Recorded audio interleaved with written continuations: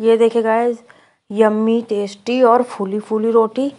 नरम इतनी कि आप पूछिए नहीं तो देखिए कितनी सुंदर यम्मी रोटियाँ बनाने के लिए कि हमें क्या करना है।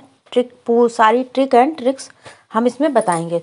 हेलो एवरीवन आप सबका स्वागत है हमारे यूट्यूब चैनल छाया मिश्रा में गाइस ये देखिए गाइस हमने ले लिया है अपना आटा नॉर्मल तो दो कटोरी आटा है और ये देखिए हमने पानी ले लिया है, लेकिन पानी, ये साधारण पानी नहीं है।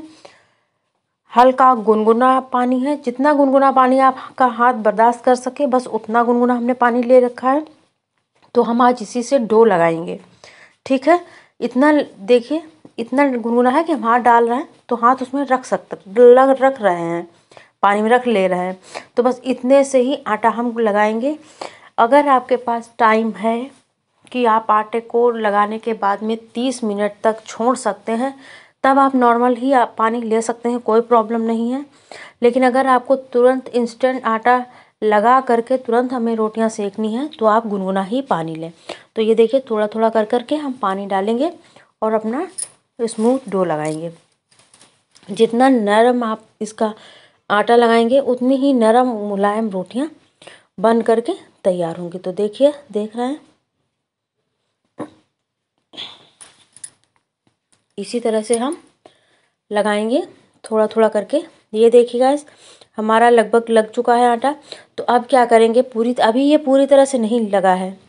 अभी ये मत सोचेगा पूरी तरह से लग गया। तो कम से कम हम इसे पाँच मिनट के लिए ऐसे ही गीला आटा मस लेंगे। तो देखिए मसलते मसलते हमारे हाथ का जितना भी आटा था, सारा छुट गया है और आटा अच्छे से मसल चुका है। तो आपको अभी हम दिखाएँगे कि कैसे, हमारा डो कैसे होना चाहिए। ये देखिए।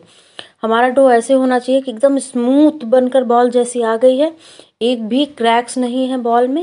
एकदम स्मूथ ये लग रहा है कि जैसे एक ही लोई बनी हुई हो। तो इसी तरह से मसल के आटा लगाना है। तो डो बस, डो में ही सारी अच्छी बात होती है कि डो ही जितना अच्छे से लगा होगा, उतना ही रोटियाँ अच्छी बनेंगी। तो देखिए, हम दस मिनट के लिए रख देंगे आटे को ढककर। और अब ये देख सकते हैं, हमने चला दिया है तवा। तो दस मिनट हो चुका है तो चलिए अब हम बनाते हैं अपनी रोटियाँ। तो ये देखिए, डो कितना अच्छे से लग, सेट हो चुका है। देखिए, मसलने का, आटे का, मसलने का ये ही होता है कि जो आटे में ग्लूटिन होता है, उसको हमें एक्टिवेट करना होता है। इसीलिए हमने पाँच मिनट तक आटा मसलने को कहा। ठीक है, अब ये देखिए छोटी छोटा सा बॉल ले लें, बड़ा सा एक बॉल ले लेंगे। इसको हम लंबा लंबा करके, इसकी हम छोटी छोटी लोइयाँ तोड़ेंगे तोड़ेंगे। आराम से। तो ये देखिए, इस तरह से छोट, बड़े नींबू के आकार की बॉल्स तोड़ी हैं।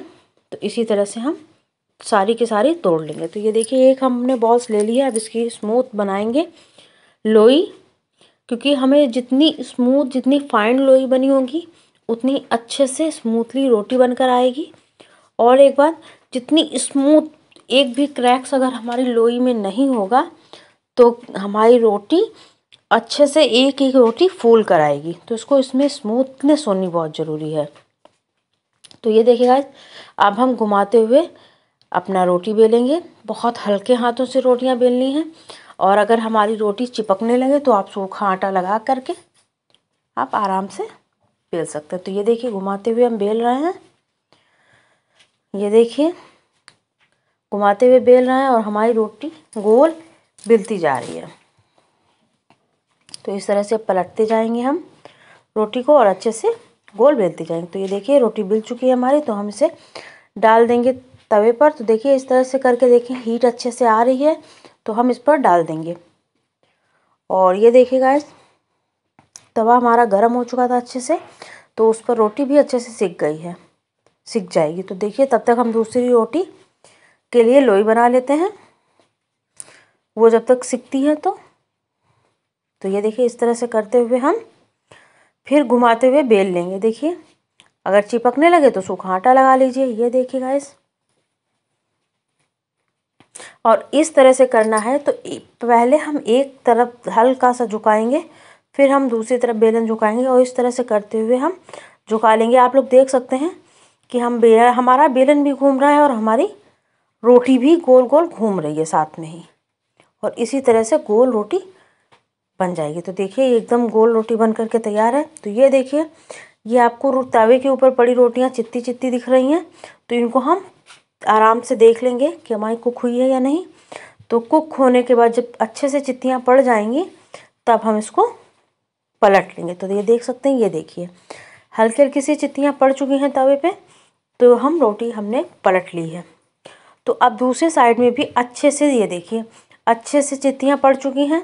तो बस इसी तरह से हमें रोटी को कुक करना है। तो ये देखिए दूसरी इस रोटी को ऊपर कर दिया और दूसरी रोटी हमने ऐसे डाल दी है। तो अब देखिएगा, देखिए ये रोटी हम हटा कर देख रहे हैं तो ये देखिए चित्तियाँ इस पर भी दिखने लगी तो उसको भी हमने पलट दिया। तो इसी तरह से हम देख लेंगे।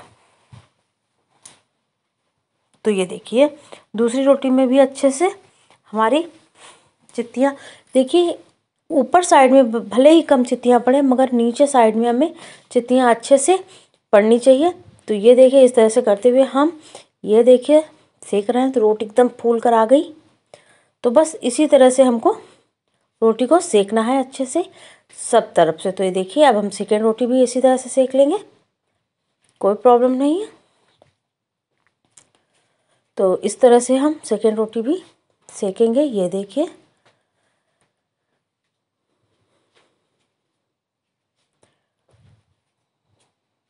तो ये देखिए हमारी सेकेंड रोटी भी कितनी अच्छे से फूल कर आई है।